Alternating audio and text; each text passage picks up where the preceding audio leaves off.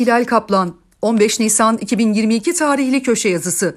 Tehlikenin farkında mısınız? CHP belediyelerinin son yıllardaki skandallarına bir yenisi daha eklendi. Yazar Ergün Poyraz uzun süredir yaşadığı Kuşadası'nda CHP'li belediye başkanı Ömer Günel tarafından yapılan yolsuzlukları gündeme getirmesinin akabinde belediyenin ihale verdiği şirketin elemanları tarafından uğradığı saldırı sonucu komalık hale getirildi. CHP'li Kuşadası Belediyesi son 17 ihalenin 15'ini PKK destekçisi Turan Bağı'nın sahibi olduğu ZBT inşaat firmasına kağıt üstünde vermesinin üzerine Ergün Poyraz Kuşadası Belediyesi'ne ihbar mektubu gönderince olay patlak veriyor. Düşünün Poyraz bir yazar olarak durumu kamuya bile duyurmuyor.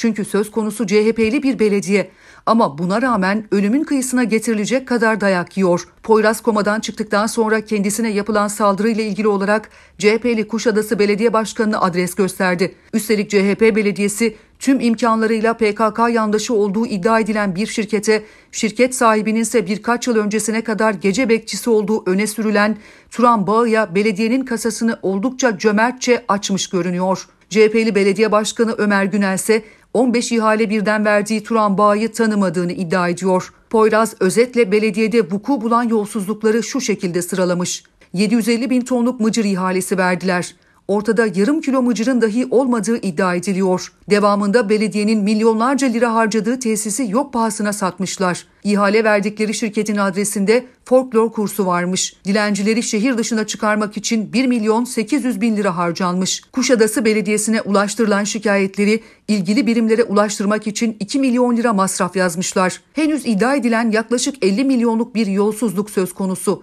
Kısacası Kuşadası Belediyesi'nin neredeyse her faaliyetinde bir yolsuzluk kokusu ortaya çıkmış. Yoğun bakımdan çıkan Poyraz ise İçişleri Bakanlığı'nın devreye girmesini istiyor. Ergün Poyraz'ı komalık eden Turan Bağ'ın Twitter hesabındaysa PKK destekçisi olduğunu kanıtlayan çeşitli etkileşimler var. Ergün Poyraz tam anlamıyla bir hükümet muhalifiydi.